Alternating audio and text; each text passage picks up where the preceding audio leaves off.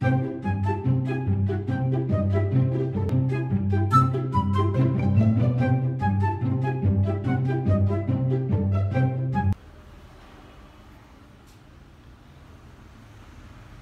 chào cả nhà. Ở đây thì mình có một ít thịt bò mình đã bầm ra à, rồi các bạn. Nếu bác và các bạn ở nhà có máy xay thì tốt ha. Này, mình đã bầm nhuyễn ra rồi. Thì ở đây mình cũng có một ít lá lốt đó. Mình à, thịt bò này mình sẽ lấy lá lốt này mình gói rồi nướng đó các bạn. Bữa nay à, có con trai mình ở nhà mình nhờ con trai mình à, nhúm giùm mình cái lửa than để mình nướng cái số lá lốt này. Nha nướng thịt bò ăn với lá lốt.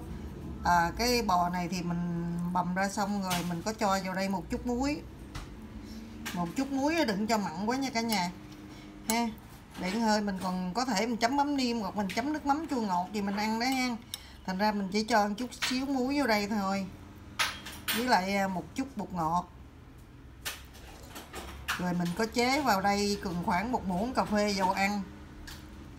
Để cho cái thịt bò mình được mềm hơn đó. Với lại mình cho xả ớt vào đây nè các bạn, nha. Còn nếu mà các bạn thích ăn sa tế hay cái gì đó thì các bạn muốn cho vào thì tùy ý thôi ha tùy theo khẩu vị của gia đình mình ha. Rồi bây giờ mình trộn cái thịt bò này ra cho đều rồi mình sẽ gói.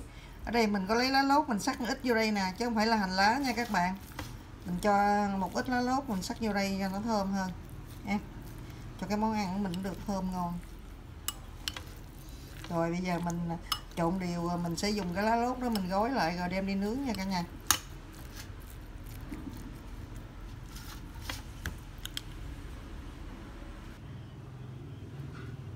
Ờ, các bạn ơi mình đã cuốn rồi nè các bạn. Bao nhiêu thịt hồi nãy trong tô đó là khoảng ờ, ờ, hai trăm rưỡi gram ờ, thịt bò hơn đó các bạn ơi. Mình cuốn ra được nhiêu đây? Do lá thì có lá to lá nhỏ nên cuốn không có đều. Ha. Người ta chuyên nghiệp người ta cuốn cũng đẹp quá còn mình cuốn ha, thôi kệ đi ha. Rồi giờ mình đi nhóm lửa để nướng đó cả nhà. Còn dư mấy lá này thôi bỏ ha. Rồi để bớt giai đoạn mình đã cuốn luôn rồi giờ đi chuẩn bị nhóm lửa nướng thôi ha lá có lá to, lá nhỏ nên nó không có được đều nè. Thôi kệ, có sao đâu, đường nào cũng về La Mã thôi. Ha ừ. cái này sân trước của mình đó các bạn. Trước mặt mình là cây sa la ha bên đây là cây à, muồng hoàng yến, tức là cây bò cặp vàng đó các bạn, mà nó chưa có chỗ hoa. Rồi ở đây con trai mình đang à, đang à, nhúng lửa than đó các bạn. Để cháy bùng lên rồi mới nướng, chứ nếu mà chưa có cháy mà chưa chưa có lửa than, chưa có cháy đều á, mà nướng thì nó sẽ bị cái khối á. Ha, để cháy mạnh chút xíu nữa mới để vô nướng. Ừ. rồi giờ bắt đầu để lên nướng cả nhà còn một tay con bưng cái dĩa lên Giang một tay con đưa gần lại, con dễ kẹp hơn để xa quá, con kẹp nhiều khi nó rớt. Quạt quạt lên đi cho nó lên lửa chút. Quạt nhẹ nhẹ rồi về bắt đầu nướng cả nhà ơi.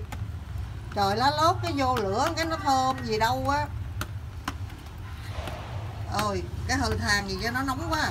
Mình cũng không dám đưa máy gần quá nữa đó, cho nó khó khối lên chút cho nó hấp dẫn. À, mình đưa xa xa mình kéo zoom nó lại chứ không dám đưa gần máy nóng.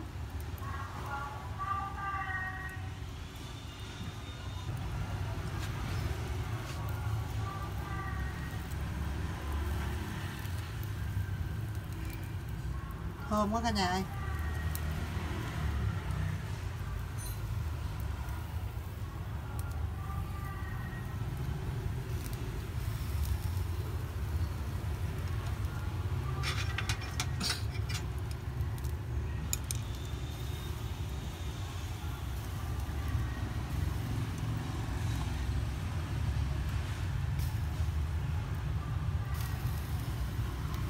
Ở trong bò nãy mình có ướp xả ớt rồi trong cái thịt đó.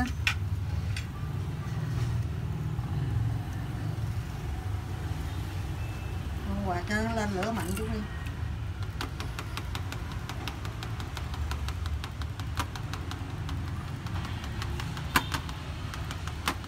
Cái gì với nước bằng than là thơm phức à. Hồi nãy mình à, tính à, nướng bếp ga rồi thấy cũng làm ít làm biến uh, à, nhúm than quá à rồi à, chợt nghỉ cũng gần à, tết rồi nè, thì à, làm củ kiệu á, tết á, có cái cho đó mình ra nướng này để mình lấy cái cho để tết ngâm củ kiệu đó. Mình ra thôi chịu cực nướng than luôn rồi sẵn lấy cái cho để tết làm củ kiệu luôn cho nó ngon. Thơm bát ngát luôn, cái mùi lá lốt nó lên.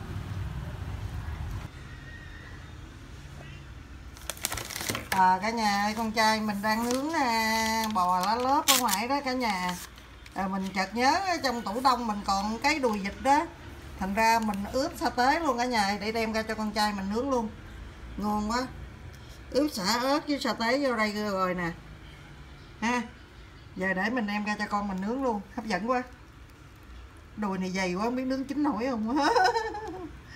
mình có lấy cái dao mình khía khía khía ra mấy khía rồi đó, để cho nó có dễ thấm, với lại nó dễ chín đó. Rồi, giờ để đem ra ngoài sân cho con trai mình nướng luôn.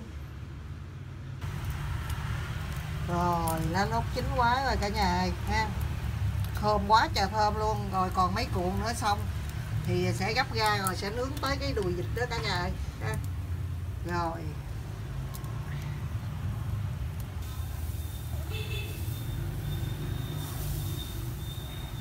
Không biết nó chín không nữa? Dày quá. Lấy cái kẹp kia kìa Giang. Lấy cái cái đồ gấp lá gấp đi. Dễ hơn đũa. Đũa nặng quá, gấp nó gấp tới vui rồi rồi mình đang nướng cái đùi vịt luôn á cả nhà. Ha lửa hồng thơm quá cả nhà ơi ha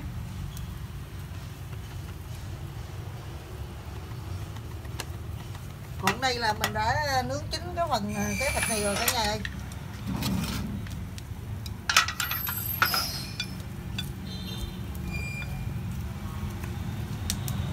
Rồi mình đã nướng chín cái phần ờ, thịt bò này rồi. Rồi để chờ nướng cái đó ờ, cái đùi vịt nữa. Ê, Giang, nó nhiễu mỡ xuống nó lên khối dữ quá nha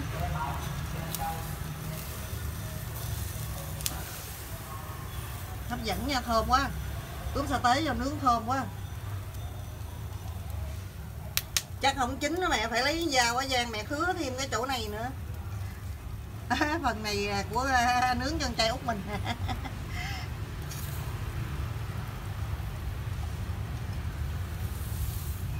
Rồi để lấy dầu khí thía nó cho nó màu chín.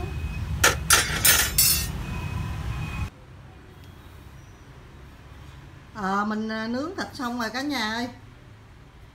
Thịt bò mình cuốn nó lốt mình nướng xong rồi này cả nhà ha. Ở đây có cái đùi vịt mà nó à, đùi vịt cái cái da nó chảy mỡ xuống nhiều quá nó táp đen mà thôi kệ vậy cũng sao cũng thơm lắm cả nhà. Ở trong ruột nó chín là được rồi ha ok ha. Ở đây mình cũng có rau sống với cả salad ha rồi à, mình sẽ ăn với nước mắm chua ngọt. Thì ngoài ra ở đây mình cũng có chuẩn bị ít đậu phộng rồi à, bún nha cả nhà bánh tráng rồi đây mình cũng có chuẩn bị đồ chua. Ha? Rồi bánh tráng sẽ cuốn với bò lá lốt còn cái này thì à, ăn không cũng được cái thịt vịt đó cái đùi vịt đó. Ở trong nó chín lắm. Ừ. rồi mình chia sẻ à,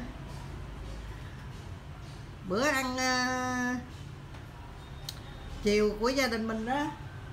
Giờ này 4 giờ coi như ăn dặm cả nhà ơi rồi 7 giờ tối mới ăn bữa cơm chính thức. Giờ 4 giờ chiều là bữa này là bữa ăn dặm của gia đình mình. Rồi mình chia sẻ đến đây mình kết thúc nha cả nhà. Chào tạm biệt, hẹn gặp lại các bạn ở những video lần sau. Đưa xa cái lá lốt thấy nó không có xanh nha, đưa gần nó mới thấy xanh ha. Dạ, thấy nó rồi, chào tạm biệt các bạn.